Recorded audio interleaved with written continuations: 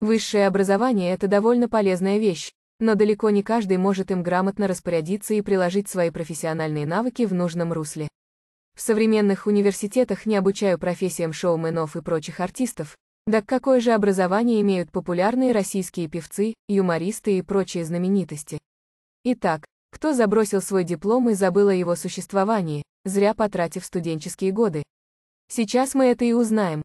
Валерий Меладзе – инженер-судомеханик. Знаменитый певец и продюсер никогда не получал творческого образования. В свое время он закончил технический вуз, а именно Николаевский кораблестроительный институт имени адмирала Макарова по специальности судомеханика. Сценическую карьеру он начинает примерно в это же время. Гарик Мартиросян – психотерапевт, влиятельный шоумен и телеведущий, прежде чем появиться на экране и плотно заняться шоу-бизнесом, окончил Ереванский медуниверситет по специальности невропатолог-психотерапевт. В отличие от подавляющего большинства публичных личностей, он честно отработал в медицине три года после университета. Илья Лагутенко – востоковед, лидер и фронтмен группы «Мумий Тролль» всегда интересовался музыкой, но профессионально обучаться ей не рискнул. Он благополучно окончил Дальневосточный университет, факультет востоковедения и африканистики. Лагутенко должен был развивать сотрудничество Китая и России на приграничных территориях, но не сложилось.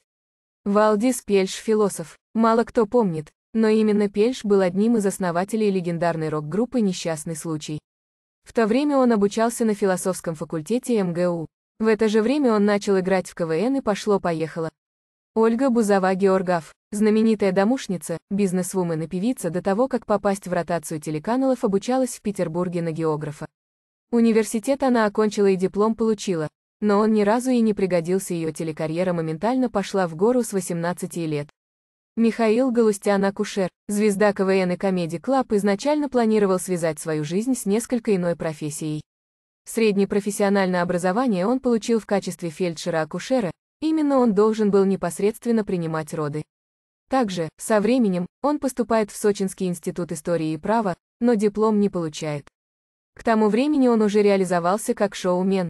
Геннадий Малахов с леса, Никода популярный телеведущий в юности не имел никакого отношения к шоу-бизнесу. Геннадий Петрович после школы поступил в училище и получил специальность слесарь-электрик. Также он активно занимался тяжелой атлетикой, в связи с чем поступил на заочное отделение Московского института физической культуры. К народной медицине он обратился из-за проблем со здоровьем, которые не смогла решить медицина традиционной. Затем стал ведущим авторских передач и писателем. Ставьте лайки, подписывайтесь на канал. Всем пока!